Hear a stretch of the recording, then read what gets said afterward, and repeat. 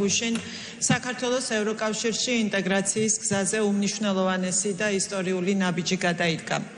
ევროკომისიამ საქართველოს მთავრობას ოფიციალურად გადასცა კითხვარი, რომლის საფუძველზეც უნდა მომზადდეს ევროკომისიის შეფასება საქართველოსთვის ევროკავშირის წევრობის კანდიდატი ქვეყნის სტატუსის მისანიჭებლად. შეიძლება ითქვას, რომ საქართველოს უკრაინასთან და მოლდოვასთან ერთად გადადგა პირველი რეალური ნაბიჯი ევროკავშირში გაწევრიანების გზაზე. ეს არის იმ საკმაოდ რთული პროცესის დასაწყისი, რომელმაც უნდა მიგვიყვანოს ჩვენ საბოლოო სტრატეგიულ მიზნამდე, რასაც ევროკავშირის წევრობა ქვია. მე მსურს ვისარგებლო შესაძლებლობით და ამ დარბაზიდან მადლობა გადავუხადო ჩვენს ევროპელ პარტნიორებს, ევროკავშირის ინსტიტუტების წარმომადგენლებს იმ შესაძლებლობისთვის, რაც ამ ნაბიჯით მიანიჭეს ჩვენს ქვეყანას. მათ უდავოდ უპრეცედენტოდ მოკლე ვადაში შეძლეს კითხვარის მომზადება და ჩვენთვის გადმოცემა.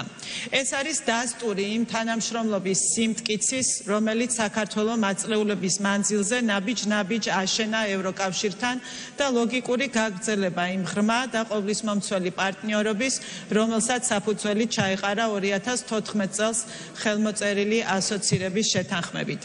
დღეს საქართველოს ხელისუფლების ძალისხმევა უკვე მიმართულია კითხვარის სათანადოდ და დროულად შევსებისკენ. საქართველოს პრემიერ-მინისტრმა განაცხადა, რომ პირადად უხელმძღვანელებს ამ უმნიშვნელოვანეს პროცესს.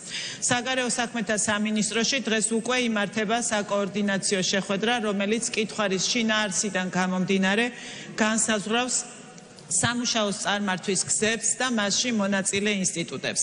ეს არის ძალიან საპასუხისმგებლო პროცესი, რომელმაც უნდა უზრუნველყოს საქართველოს მიერ ევროინტეგრაციის გზაზე მიღწეული პროგრესის და გატარებული რეფორმების სათანადო წარმოჩენა და სოლიდური საფუძვლის მომზადება ევროკომისიის დადებითი შეფასებისთვის.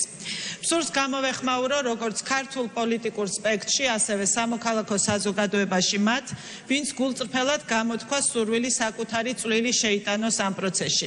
საქართველოს ევროკავშირში ინტეგრაცია არის ნამდვილად სრულიად საქართველოს საკუთრება და ყველამ, ვისაც გულწრფელად სურს ჩვენი ქვეყნის წარმატება ევროკავშირში ინტეგრაციის გზაზე, როგორც შეგვიძლია ჩვენი წილი აგური უნდა დავდოთ სასურველი შედეგის მისაღწევად და მხარში დაუდგეთ საქართველოს მთავრობას ამ ისტორიულ და ჩვენი ქვეყნის მომავლისთვის გადამწყვეტ მომენტში.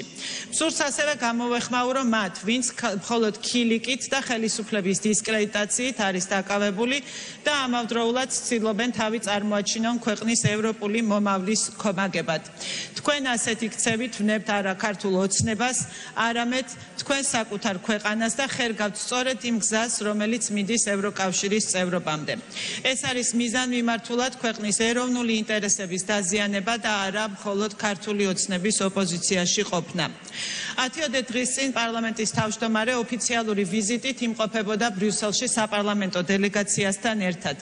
ქონდა შეხვედრები ევროპარლამენტის პრეზიდენტთან, სხვადასხვა პოლიტიკური ჯგუფების წარმომადგენლებთან, ევროკომისართან სასამართლის საკითხებში, ევროკავშირის წევრი ქვეყნების ელჩებთან.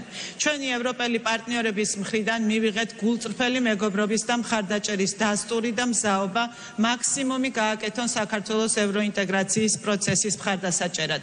ჩვენ ვისაუბრეთ რეფორმებზე, რაც ჭირდება საქართველოს შემდგომი ტრანსფორმაციის ტრანსფორმაციისთვის, დემოკრატიის კონსოლიდაციისთვის, განვიხილეთ ეკონომიკური და უსაფრთხოების გამოწვევები, რაც საქართველოს წინაშე დგას და კიდევ უფრო მძაფრდება უკრაინაში მიმდინარე რუსული აგრესიის ფონზე.